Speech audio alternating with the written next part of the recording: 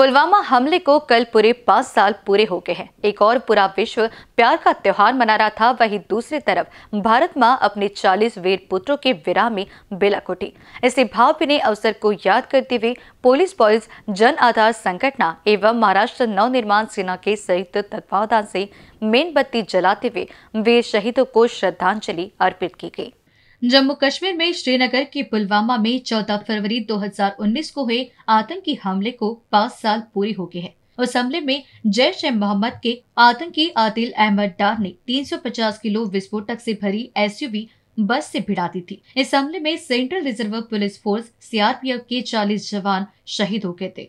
इस घटना को पाँच साल पूरे हो गए हैं, लेकिन आज भी इस हादसे की कहानी सुनकर भारतीय लोगों की रूह काँप जाती है।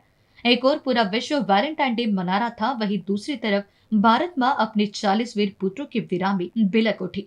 इसी भावभीनी अवसर को याद करते हुए पुलिस बॉयज़ जन आधार संगठना एवं महाराष्ट्र नव निर्माण सेना के संयुक्त तत्वावधान से मेनबत्ती जलाते हुए वीर शहीदों को श्रद्धांजलि अर्पित की गई।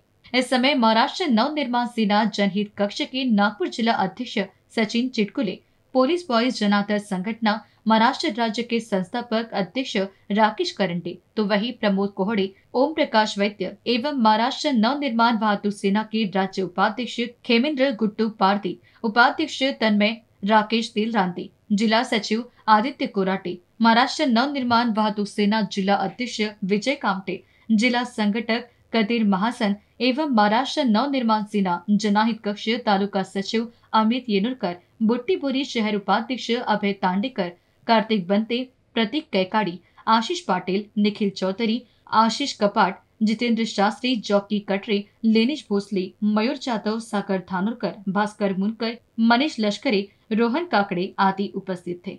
इस समय मौन के साथ वीर शहीदों को श्रद्धांजलि दी गई। इन न्यूज़ के लिए मनीष टेमरे की रिपोर्ट।